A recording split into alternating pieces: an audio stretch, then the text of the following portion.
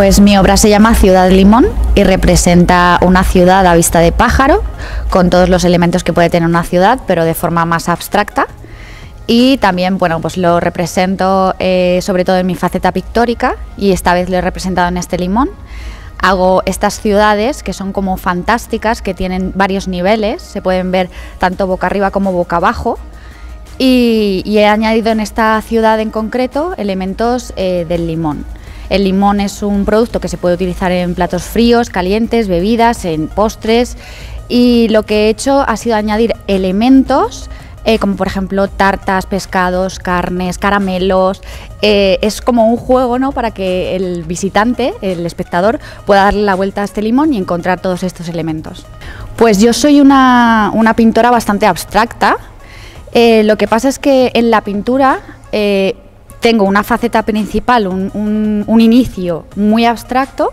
Lo que he hecho ha sido dibujar eh, todas estas formas, ¿no? estos pescados, estos caramelos, y eh, después como desdibujarlos con líneas eh, como muy marcadas, con diferentes colores. Yo soy una, pintora muy colorista y, ese ha sido mi proceso. Realmente lo que ocurre es que yo ya había trabajado este formato, porque yo hago también escultura y hago cabezas gigantes, entonces eh, me he sentido cómoda con el formato, la verdad.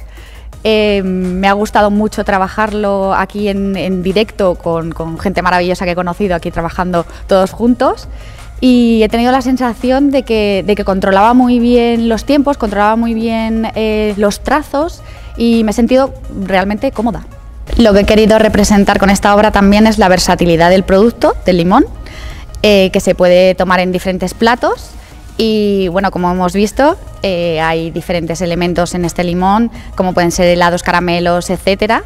Y, a la vez me siento muy identificada con el proyecto, con la versatilidad del producto, porque también me considero una artista muy versátil, porque trabajo fotografía, pintura, escultura y, y vamos, me siento totalmente identificada con ello.